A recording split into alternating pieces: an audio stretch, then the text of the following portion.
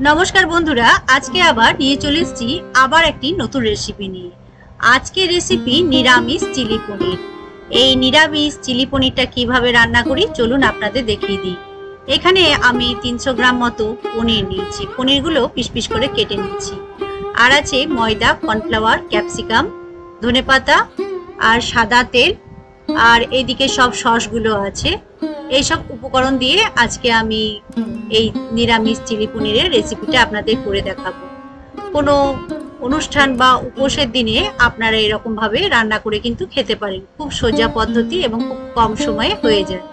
প্রথমে একটা বাটিতে আমি নিয়ে নিলাম দু চামচ মতো ময়দা। এবার দিয়ে দেব দু চামচ মতো কর্নফ্লাওয়ার। ময়দা আর কর্নফ্লাওয়ারটা আমি সেম পরিমাণই রেখেছি। এবার ময়দার সঙ্গে কর্নফ্লাওয়ারটা ভালো করে মিশিয়ে নিলাম। এখানে আমি একটা ব্যাটার তৈরি করব। সেই জন্য এই শুকনো উপকরণগুলো নিয়ে নিচ্ছি। এবার দিয়ে দিলাম হাফ চামচ মতো গোলমরিচ গুঁড়ো। গোলমরিচ গুঁড়োটা দিয়ে মিশিয়ে নিলাম। এবার এতে দিয়ে দেব আরও কিছু মশলা। দিয়ে দিচ্ছি স্বাদ অনুযায়ী লবণ। লবণটা দিয়েও মিশিয়ে নিলাম। আর দিয়ে দিচ্ছি আদা কাঁচা লঙ্কা পেস্ট এক চামচ মতো। দুটো কাঁচা লঙ্কা আছে আর এক চামচ আদা। একসঙ্গে পেস্ট করেছিলাম, সেটা দিয়ে দিলাম। আর দিয়ে দিলাম সামান্য হাফ চামচ মতো সয়া সস তারপরে হাফ বাটি মতো কিছুটা কম জল দিয়ে আমি একটা ব্যাটার গুলিয়ে নিলাম। ব্যাটারটা ঠিক এরকম হয়েছে, খুব পাতলা হবে না, খুব গাঢ় হবে। এবার পনিরগুলো একে একে দিয়ে আমি ডুবিয়ে নেব। কোট করে আমি সাদা তেলে এগুলো ফ্রাই করব। পনিরের এই টুকরোগুলোকে পকোড়া করে ভাজি। দিয়ে এই চিলি পনিরের নিরামিষ রেসিপিটা আমি আপনাদেরকে করে দেখাবো। খুব টেস্টি হয় কিন্তু। এদিকে কড়াইয়ে আমি তেল দিয়েছি। একটু বেশি পরিমাণে তেল দিয়েছি কারণ পনিরের পকোড়াগুলো ভাজবো। এক পিস এক পিস করে নিয়ে, চামচের মধ্যে নিয়ে আমি ওই গরম তেলের মধ্যে, তেলটা কিন্তু খুব ভালোভাবে গরম করতে হবে। একটা করে টুকরো আমি তেলের মধ্যে দিয়ে দিচ্ছি। এরকম ভাবে গ্যাসের ফ্লেমটা মিডিয়াম রেখে পনিরগুলো আমি সবগুলো একে একে ভাজবো।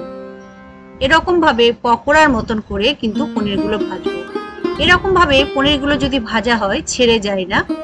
আর পনিরের যে রেসিপিটা করছি, চিলি পনিরের নিরামিষ, টেস্টটাও কিন্তু খুব সুন্দর হয়। কিছুক্ষণ ভেজে দুই থেকে তিন মিনিট মতো এবার আমি একে একে সব তুলে নিলাম। আর কিছুটা বাকি আছে, সেইগুলো আমি আবার একে একে এক পিস করে দিয়ে আবার ভেজে তুলে নেব। এরকম ভাবে সব পনিরগুলো আমি পকোড়ার মতো করে ভেজে তুলে রাখব। দেখুন, দ্বিতীয় ব্যাচটাও দেওয়া হয়ে গেছে। প্রথম ব্যাচটা তো ভেজে তুলে রেখেছি। এবার দ্বিতীয় ব্যাচটা ভেজে এরকম ভাবে একই সেম প্রসেসে তুলে রাখব। পুজো পার্বণের দিনে যখন আমরা উপোস করি, কি নিরামিষ রান্না করব? তো খুব সোজা পদ্ধতিতে পনিরের এই চিলি পনির রেসিপিটা কিন্তু আপনারা বাড়িতে করে খেতে পারেন। বেশি পরিমাণে তেল দিয়েছিলাম, তাই তেলটা কমিয়ে নিয়ে দু চামচ মতো তেল আমি রাখলাম। এইদিকে যে ক্যাপসিকামগুলো কেটে রেখেছিলাম, সেই ক্যাপসিকামগুলো ওই গরম তেলের মধ্যে দিয়ে দিলাম। একটা কাঁচা লঙ্কা কুচি করে রেখেছিলাম, সেই কাঁচা লঙ্কাটা ঝালের জন্য দিলাম। সামান্য একটু ঝাল হবে, বেশি ঝাল করব না। একটু হালকা করে ভেজে নিলাম। ক্যাপসিকামটা কিন্তু খুব বেশি ভাজলে হবে না। আর এতে দিয়ে দিলাম প্রায় এক চামচের কিছু কম যে আদা আর কাঁচা লঙ্কা পেস্টটা ছিল, সেখানে দিয়ে একটু ভেজে নিচ্ছি। কাঁচা মশলা যেহেতু আদাটা দিয়েছি, যাতে কাঁচা ভাবের গন্ধটা না থাকে, সেই জন্য হালকাভাবে ভেজে নিচ্ছি। এবার এইদিকে আমি একটা সসের ব্যাটার তৈরি করব। তার জন্য নিয়ে নিলাম দু চামচ মতো টমেটো কেচাপ এক চামচ মতো সোয়া সস আর এক চামচ মতো গ্রিন চিলি সস, ঝালের জন্য। এগুলো দিয়ে আমি আর এক চামচ মতো চিনি দেব। একটু মিষ্টি ভাব আসবে। আপনারা যেরকম মিষ্টি ভাব পছন্দ করবেন, চিলি পনিরের সেরকম ভাবে মিষ্টিটা দেব। যেহেতু সস দিয়েছি, টমেটো একটু টকটক ভাব আছে সেই জন্য চিনিটা দিলাম। তাতে কিন্তু টেস্টটা খুব সুন্দর আসে। দেখুন, হাফ কাপ মতো জল দিয়ে আমি এরকম ভাবে সব সসগুলো গুলিয়ে নিলাম। এইদিকে একটা ছোট বাটিতে হাফ চামচ মতো কর্নফ্লাওয়ার দিয়েছি। কর্নফ্লাওয়ারটা দিয়ে একটু দু চামচ মতো জল দিয়ে আমি গুলিয়ে নিলাম। এটা আমি গ্রেভির থিকনেস আনার জন্য ব্যবহার করব যাতে গ্রেভিটা একটু গাঢ় হয় সেই জন্য কর্নফ্লাওয়ারটা লাস্টে দেব। এইদিকে ক্যাপসিকামটা হালকাভাবে ভাজা হয়ে গেছে। ওই সসের যে ব্যাটারটা আমি তৈরি করেছিলাম জল দিয়ে, সেটা দিয়ে দিলাম। বাটি ধুয়ে আর কিছুটা জল আমি দিলাম। প্রায় এক বাটি মতো জল ব্যবহার করেছি, ভালো করে নেড়ে চেড়ে মিশিয়ে নিলাম।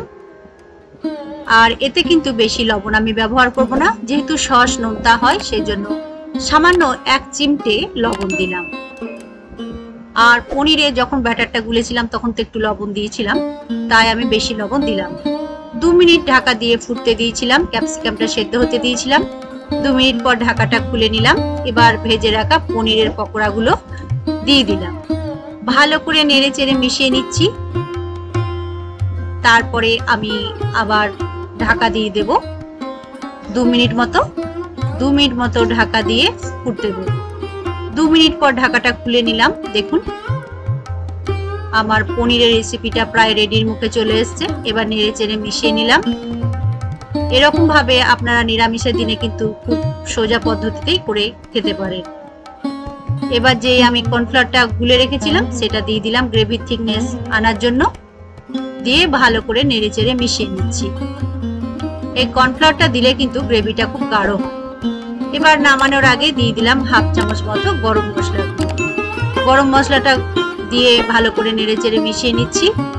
এবার আমি গ্যাসের ফ্লেমটা অফ করে দেব। গ্যাসের ফ্লেমটা অফ করে দিয়ে দিয়ে দেব কিছুটা পরিমাণ ধনে পাতা কুচি। ধনে পাতা কুচিটা দিলে কিন্তু টেস্টটা খুব সুন্দর আসে। আপনারা যদি মনে করেন অ্যাভয়েড করতে পারেন, কিন্তু আমি দিয়েছি খুব সুন্দর একটা ফ্লেভার আসে।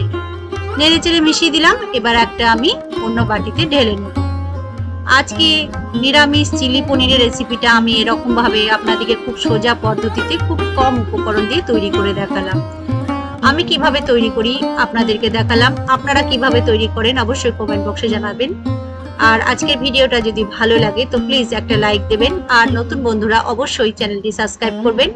পাশে যে বেল বটনটি থাকে, সেটা প্রেস করবেন, তাহলে নতুন নতুন আপডেট আপনাদের কাছে চলে যাবে। দেখুন, নিরামিষ চিলি পনির রেসিপিটা রেডি করেছি। এই নিরামিষ চিলি পনিরটা আমি গোবিন্দভোগ চালের পোলাও করেছি, বাসন্তী পোলাও। তাই দিয়ে সার্ভ করব। আপনারা এটা রুটি লুচি, পরোটা, নান, ভাত, সবের সঙ্গেই কিন্তু খেতে পারেন। আজকের এই সুন্দর রেসিপিটা দেখার জন্য আপনাদেরকে অসংখ্য ধন্যবাদ। পোলাও রেসিপিটাও কিন্তু আমার চ্যানেলে আছে, আপনারা সার্চ করলে কিন্তু পেয়ে যাবেন।